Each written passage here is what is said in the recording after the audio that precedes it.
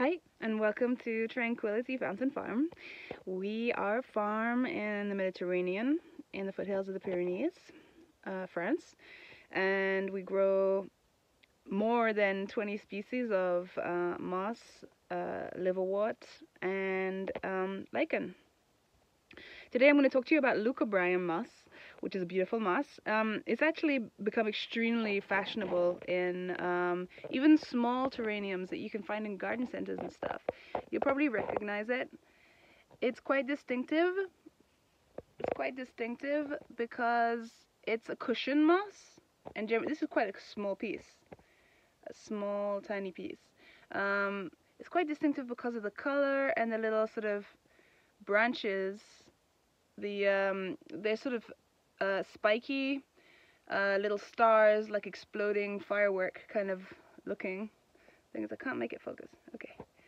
Um, and uh, when it's dry, it goes into like a turquoise kind of blue green color. This one's um, sort of uh, less blue than it usually is, actually.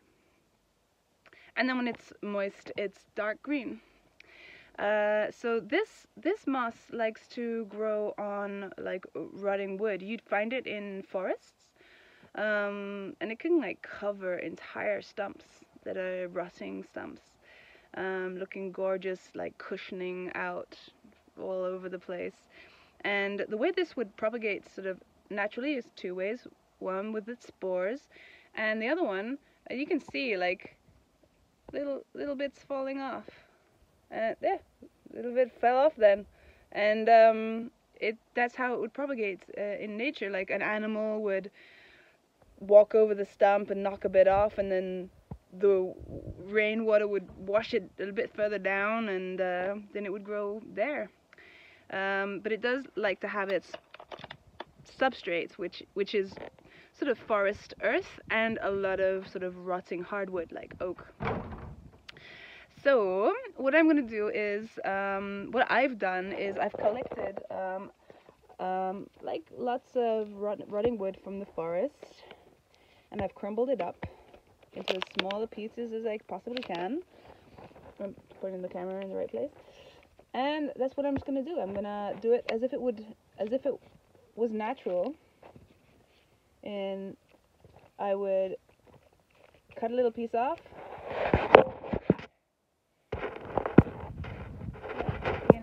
me? No, kind of. Okay.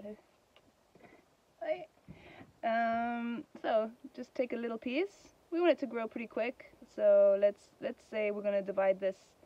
I've got like 12 pots, so let's divide this into 12. And so I can show you the what it looks like inside. You see, it's quite long, and this is like I said, a small piece. So um, let me show you. Refusing to focus. Focus on the mass. There. Okay. Um, so it can grow like this thick and really cushion out beautifully. So I'm going to cut that again. Little piece, you see? And you see how I've got the roots here? Sorry, the roots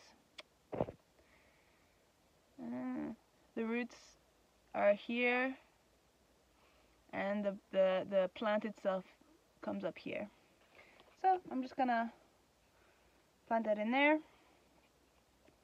Give it a nice uh, moisture and uh, cover it. Cover it with a plastic bag or I've, I like to use food containers. Where are they? They're over here. Um,